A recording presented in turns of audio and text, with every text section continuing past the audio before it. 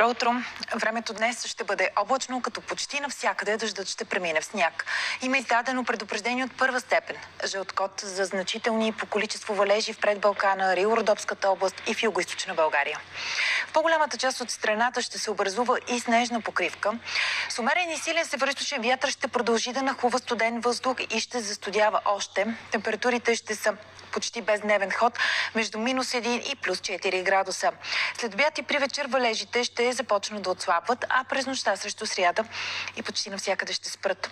Валежи от сняг и в планините, в комбинация с силния и бурен вятър по проходите ще има снежни виелици и навявания. Температурите ще се понижават.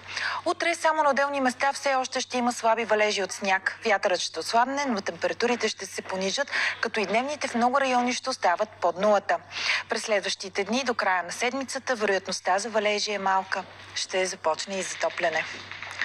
Такава е прогнозата за времето. Останете с предаването.